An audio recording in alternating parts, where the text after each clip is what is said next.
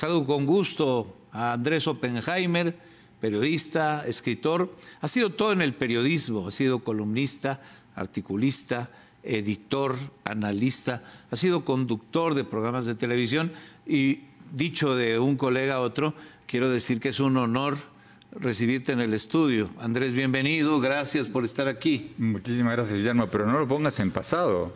Soy columnista, soy conductor de un programa de televisión. Sí, sí, sí. No, como dijiste, me hiciste sentir más viejo de lo que ha Sido, ha sido, ha sido. sigue siendo. ¿eh? No, no, no.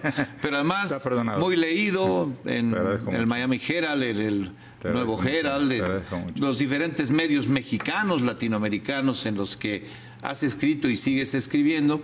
Eh, de origen argentino, radicando en Miami hace ya muchos años y con una presencia a nivel latinoamericano, pero también global importante. Eh, hoy vienes a presentarme un libro del cual me interesa mucho platicar porque he leído otros que has escrito y se sale totalmente de lo que es la temática que has venido abordando a lo largo de tu historia periodística y como escritor. Pero, pero déjame abordar un tema muy de la actualidad mexicana antes de entrar propiamente al libro, y tiene que ver con el presente y el futuro de México. Eh, a mí me llamó mucho la atención por ahí del mes de junio, una columna que escribiste en donde pusiste en el radar a Xochitl Galvez. Y no es porque Xochitl Galvez no estuviera en el radar, sino es porque tú la pusiste particularmente en el radar. Déjame más o menos referirle a nuestro público. Mediados de junio, eh, López Obrador le cierra las puertas del Palacio a Xochitl Xochitl buscaba ser candidata al gobierno de la Ciudad de México y repentinamente Xochitl Gálvez adquiere, a partir del rechazo presidencial y la cerrazón de la puerta del Palacio, un matiz distinto, que periodistas mexicanos no supimos subrayar como lo hiciste tú. Y fíjate, Guillermo, que yo no la conocía a Xochitl Gálvez. Jamás en la vida había cruzado una palabra con ella, aunque ella me seguía en Twitter en lo que en sus buenos tiempos se llamaba Twitter, y yo lo seguía ella. Pero eh, fue muy sencillo. Pasó lo que pasó, lo que tú cuentas de Xochitl frente al Palacio Nacional. Eh, pregunté a algunos amigos mexicanos quién es esta señora, y me dicen, una señora padre indígena, eh, ingeniera, graduada de la UNAM, empresaria, fundó una empresa de ingeniería computacional, exitosa, yo dije, esta es la candidata ideal de la oposición, porque con qué argumentos van a decir que la oposición es FIFI si tienen una contrincante que es más pueblo que los candidatos del gobierno o el propio presidente.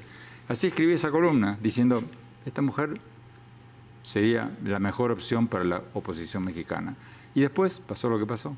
Me llamó mucho la atención porque sabiendo lo que estás diciendo, nadie en México la había puesto de una manera tan relevante en el radar. Guillermo, sí, pero a veces el estar afuera tiene sus ventajas y desventajas.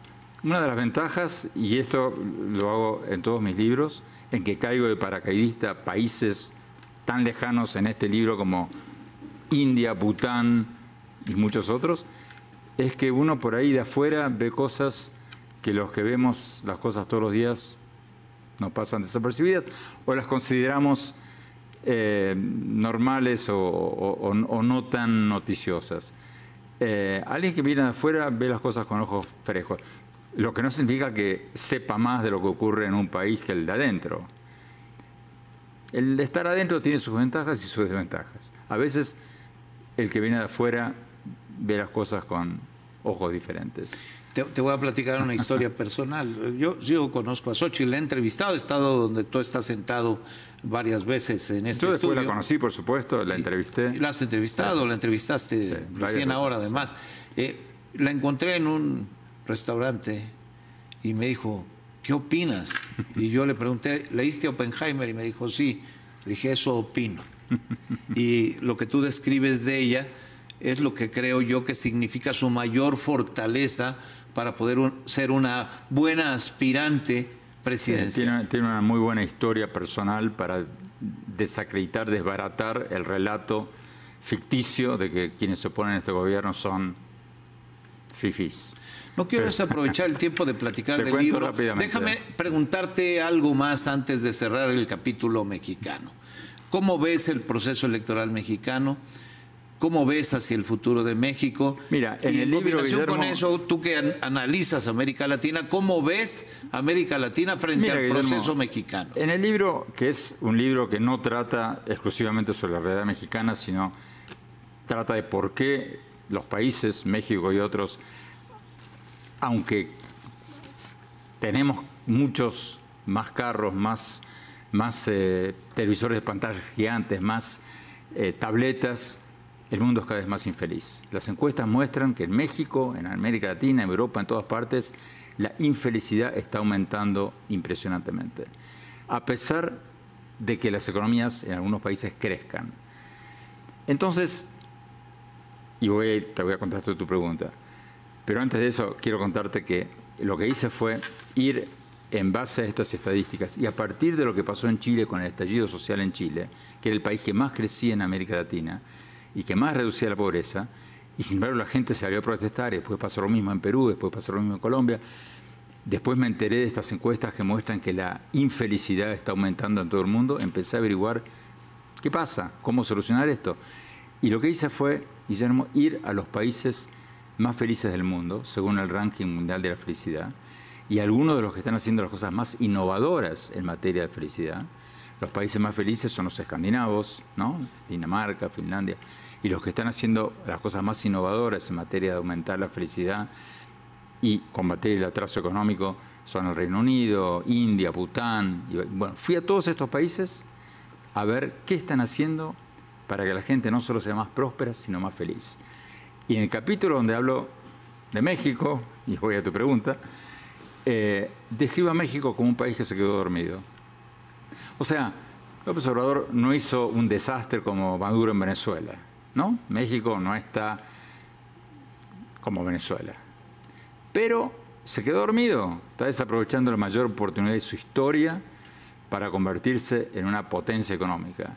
Ahora con este nuevo fenómeno de que las multinacionales se quieren ir de China, por varios motivos, por la caída del crecimiento económico de China, por las tensiones con Estados Unidos, por la posibilidad de una invasión china a Taiwán, que desbarate el comercio internacional, por varios motivos, las multinacionales que tenían todos sus huevos en la canasta de China, quieren diversificarse, quieren no depender tanto de los suministros de China. Y el país a donde más quisieran ir, ¿cuál es? Este, México. O México o Canadá no, hay de otro. México, México. Pero sobre todo México, la mano de obra. La mano de obra. Tantos millones de personas. La cercanía con Estados Unidos, la misma eh, zona horaria, todo. Y sin embargo, ¿Dónde están yendo? Están yendo a Vietnam, están yendo a India, están yendo a Corea del Sur, están yendo a Tailandia, están yendo a todos lados, también están viniendo a México, pero muy poquitito. Estamos desaprovechando la oportunidad. Se quedaron dormidos. ¿Y por qué? Bueno, entre otras cosas, porque el presidente del operador, por ejemplo, principio de este año, en el Foro Económico Mundial de Davos, donde van todos los capitostes de las grandes multinacionales, varios otros países, como los que recién mencioné, van ahí a tratar de decirles a los empresarios, vengan a mi país, si se van de China, vengan a casa. El presidente de México brilló por su ausencia y ni siquiera mandó a su canciller. Eh, lo mismo va a ser ahora con la reunión de APEC en San Francisco. Brilla por su ausencia. Enorme oportunidad perdida. Pero volviendo al libro, Guillermo, que dicho sea de paso, me hace feliz haberme enterado hoy que está número uno en la lista de libros más vendidos de Amazon en México. Eh, lo que hice fue ver qué podemos aprender nosotros de lo que otros países están haciendo sin enormes gastos de dineros que no tenemos. Y hay muchísimas cosas que vi que son espectaculares, que podemos aplicar a los países, a las empresas y a las personas.